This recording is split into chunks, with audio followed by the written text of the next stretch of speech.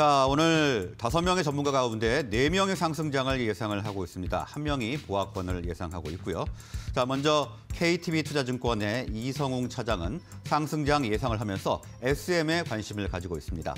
카카오페이증권의 윤정식 부장은 역시 상승장을 예상하면서 정유, 2차 전지 업종에 주목하고 있습니다. AJ 인베스먼트의 이재규 대표는 보합권장 예상하면서 강원랜드에 주목하고 있습니다. 그리고 모두 투자그룹의 김민재 팀장은 상승장 예상하면서 위즈틸 관심주로 꼽았습니다. 비전 경제연구소 김태성 팀장은 역시 상승장 예상을 하면서 SK이노베이션을 관심주로 꼽았습니다. 자, 그러면 두 분과 화상으로 이야기 나눠보도록 하겠습니다. KTB 투자증권의 이성웅 차장, 카카오페이 증권의 윤정식 부장 연결되어 있습니다. 예, 두분 나와 계십니까? 네, 안녕하십니까. 안녕하세요. 네, 안녕하십니까. 자, 먼저 이성우 차장님, 오늘 어떤 전략 준비를 하면, 좋, 하면 좋겠습니까? 네, 우선은 뭐 미국 증시에서 부터 저 반발 매수 유입이 되죠. 어, 나스닥을 중심으로 좀 이루어지면서 우리나라 증시도 그대로 영향을 받을 것으로 좀 판단이 좀 되고 있고요. 어, 우선 전체적인 변동보다는 낙폭과대 그리고 이익 상승이 높은 이 고, PR 업종의 탄력성이 높을 것으로 지금 판단이 되고 있는 데 상황입니다. 다만 이제 유가 상승에 따른 지금 인플레이션에 대한 우려 부분에 대한 부분에 있어서 눈치 보기 장세를 전환할 가능성은 어, 계속 이어질 가능 그 이어지지 않을까라고 좀 판단이 되고 있고요. 어, 우선 그 설 연휴 기간에 좀 아쉬웠죠. 우리나라 설 휴장 가운데 미국 증시 같은 경우가 이 반등이 좀 나왔던 부분이 어, 조금 약간 일단락되는 상황이 나타나기 때문에 어떤 강한 어, 반발 매수세가 유입된다는 것보다도 어, 제 생각인데 우선 좀 지켜봐야 되는 어, 부분은 맞다라고 좀 생각이 좀 되고 있고요. 하지만 말씀드렸듯이 이 눈치 보기 장세 속에서도 이 저가 매수세에 대한 부분에는 이어질 가능성이 크기 때문에 어, 우선 그 우선 지금은 어 우선 현금 비중은 계속 그 늘리는 것보다도 주식 비중을 어, 계속 갖고 가는 비중 쪽으로 어, 하는 게 낫지 않을까라고 좀 판단되고 있습니다. 뭐 단계적으로는 뭐 대선 정책에 대한 수혜주 이 어, 그, 그 어떤 추경 예산이나 이런 부분이 나와주고 있기 때문에 뭐 이런 중심으로 해서 긍정적인 영향을 끼치지 않을까 이렇게 보입니다. 네, 눈치 보기 장세 속에 저가 매수가 이어질 것이다 이렇게 어, 예상을 해주셨고요. 다음은 윤재식 부장님, 오늘 분위기 어떻게 보고 계십니까? 네, 우선 반등하는 뭐 가능성이 뭐 현저히 좀 높죠. 미국 증시도 상승을 했고요. 국내 증시는 미국 증시보다 사실 훨씬 상승을 못했습니다. 구정 연휴 쉬는 동안 지난주 목요일 금요일 이틀 상승했는데 뭐 그 정도는 사실 좀 부족한 상승이었고요. 뭐 추세적으로 3천선을 훨씬 넘어간다 이렇게까지 보기는 힘들지만 오늘 증시 같은 경우는 뭐 외국인과 기관 양매수가 들어오면서 상승할 가능성이 좀 높다라고 보여집니다. 우선 첫 번째로는 뭐 국내 증시 상당히 많이 발목을 잡았었던 LG 에너지 솔루션 솔루션의 거래 집중세가 계속적으로 좀 완화가 되고 있고요. 여기에 쏠렸던 외국인의 매도도 상당히 많이 진정이 됐습니다. 이제는 매수로 전환이 됐죠.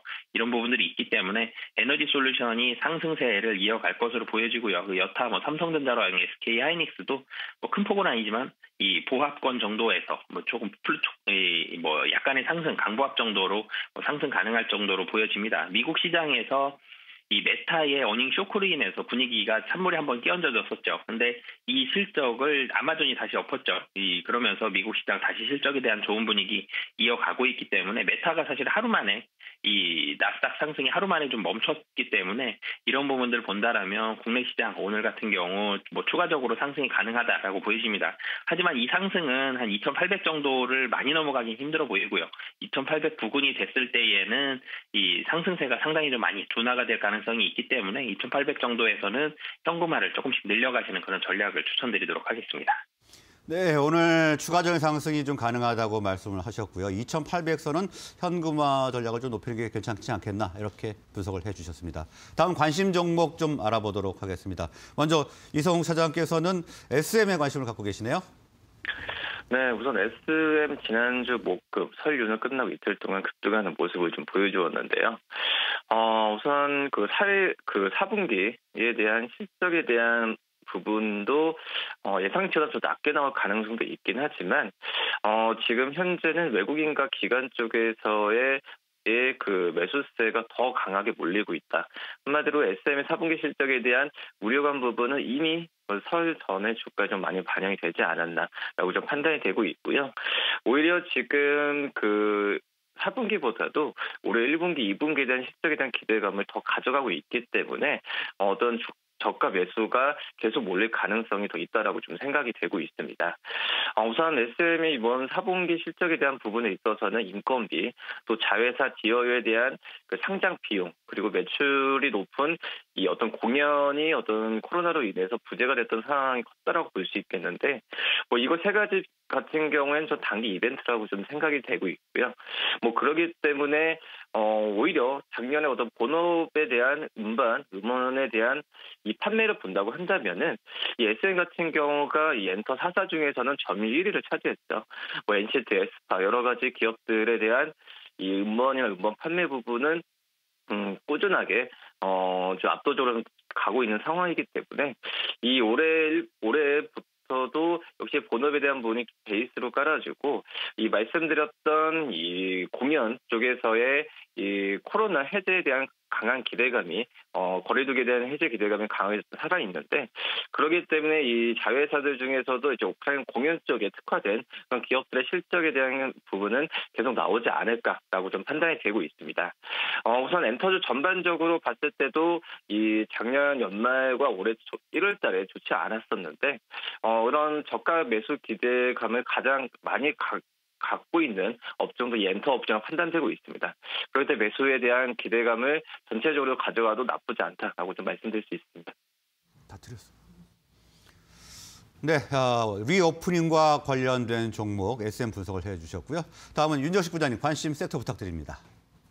네, 예, 뭐 정유와 2차 전지 좀 말씀을 드리겠는데요. 정유주 같은 경우는 최근에 이 뭐 정제 마진도 좋고 수요도 늘어나면서 정유 국제 유가가 올라가고 있는 와중에 지정학적 리스크까지 부담이 되면서 90불을 훌쩍 넘어갔죠. 92불을 좀 넘는 그런 가격까지 올라갔는데 지정학적 리스크가 단기간 내에 지금 해결될 가능성이 좀 낮아 보이고요. 이게 해결이 된다고 하더라도 80불대 후반에서는 뭐 충분히 움직일 수 있는 그런 가격이기 때문에 정유주는 뭐 금년에 그리고 정제 마진도 지금 떨어지질 않죠. 예, 그렇기 때문에 정유주 같은 경우는 실적이 좀 상당히 좋다 이런 관점으로 접근을 하셨으면 좋겠고요. 2차 전지 관련한 종목들은 이제는 LG 에너지 솔루션으로 집중됐었던 이런 수급들이 상당히 많이 완화가 됐습니다. 도리어 이제 LG 에너지 솔루션이 앞장서서 가면서 다른 종목들이 좀 따라가고 있는 이런 모습들 보여주고 있는데 2차 전지 같은 경우는 뭐 산업 자체의 확장성이라든지 미국 시장의 진출이라든지 여러 가지 호재들이 계속적으로 좀 나올 가능성이 있고요. LG 에너지 솔루션은 여타 2차 전지 ETF에서 계속적으로 지금 수급이 이 들어올 예정입니다. 이런 부분들 봤을 때 추가적인 하락보다는 이제는 상승에 대한 수급적인 부분에서도 상승에 대한 가능성이 높다라는 부분들을 보시고요. 그러면서 좀 장기적으로 접근하셔도 좋을 것 같습니다. 네, 정의주와 2차 전지 관련주 말씀을 해주셨습니다. 오늘 말씀은 여기까지 듣겠습니다. 고맙습니다. 네, 감사합니다.